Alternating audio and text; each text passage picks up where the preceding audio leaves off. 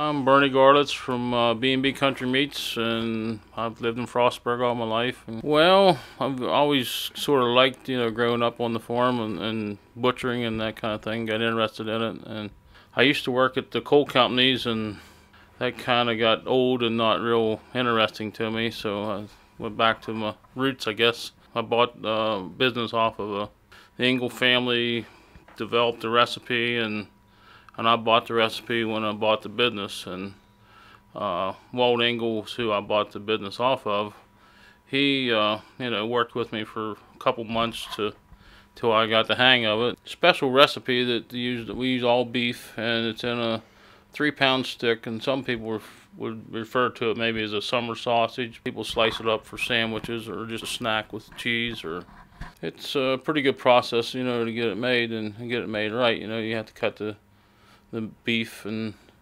and then season it and mix it and grind it and uh, stuff it and then smoke it and, and cook it, you know.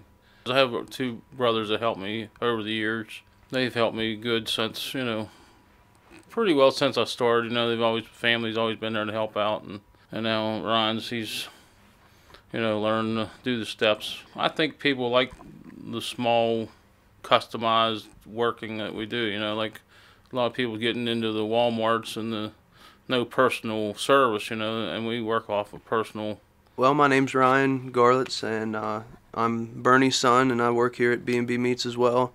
And uh, along with many other things, I'm learning uh, more and more every day about uh, making Engels Frostburg bologna and seeing the impact that uh, that my family and that the business that my father's built, it's really had an impact on you know communities and it's built so many friendships for my for me and my family and and uh, that's just something that you really can't put a price tag on. It's more than a recipe, it's more than bologna, it's more than a business and it's like dad said, you know, it's relationships and definitely as far as, you know, the way things are right now, definitely maintaining is a huge goal, but uh, I have bigger bigger sights than that. I'd definitely like to see us keep doing what we're doing, just maybe on a little larger scale. It's amazing, 30 some years and the product just kind of sells itself. You know, we have people from New York City, from Annapolis, Virginia, Ohio, on a daily basis, you know, trying to get beef jerky or bologna or or things that they grew up on or they heard their relatives from Frostburg talk about. You know, we always try to use a good quality beef, mostly beef, or if we're doing sausage, we use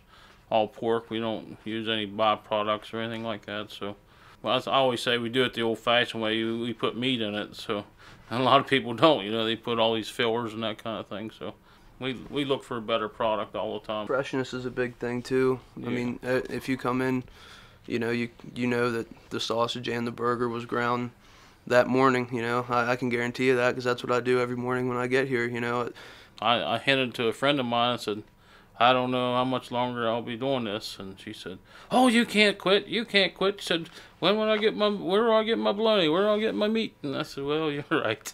People, people want Bernie just as much as they want the, want the bologna. Hey, everybody loves Bernie, so I'll, I'll try to hang on to him as long as I can. they like him a lot more than me, I think.